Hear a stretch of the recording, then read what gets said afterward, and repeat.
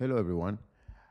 I want to address today what are the main things that um, decision makers have to address in order to communicate properly with um, analysts or data scientists, for that matter.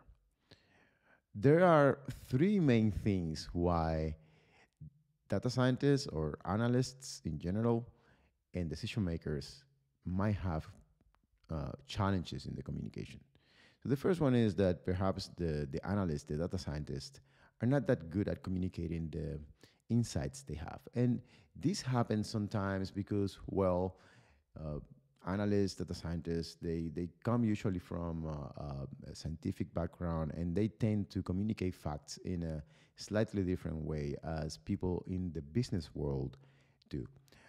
Um, the other reason why there might be a mismatch in the communication is because uh, the decision makers are expecting, well, it's the other end of, of the communication.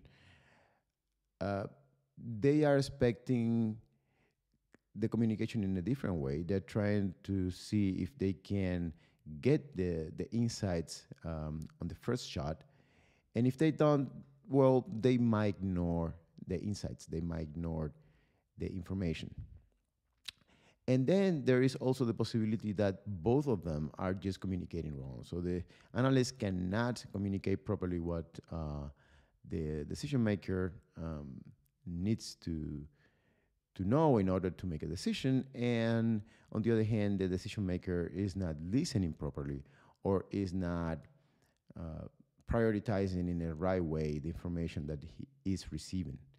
However, in order to improve this communication, it's important for the two parts to create a strong link. Once this strong link is created, then communication flows easier. So it's, it's important that both the data scientists or the analysts and the decision makers come together and create this bond because once that this um, intimacy is created between the two of them, then the communication flows in a much better way.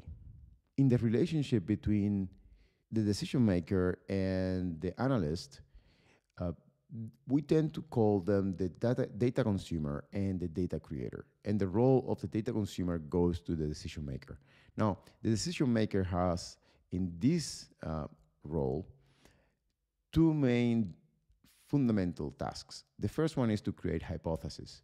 So the main questions that we have to answer, and they create, they come up with these questions, with these hypotheses based on their business knowledge. They understand the business environment, and therefore they come up with uh, questions that they want solutions for.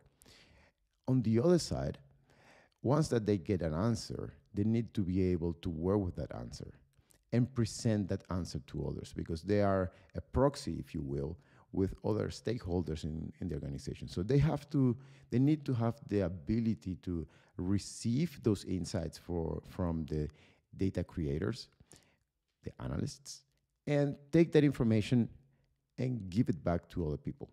So in able to do this, they need to learn a little bit the language of the analyst. They need to understand a little bit of statistics, a little bit of math. Uh, not a lot of it, but a little bit.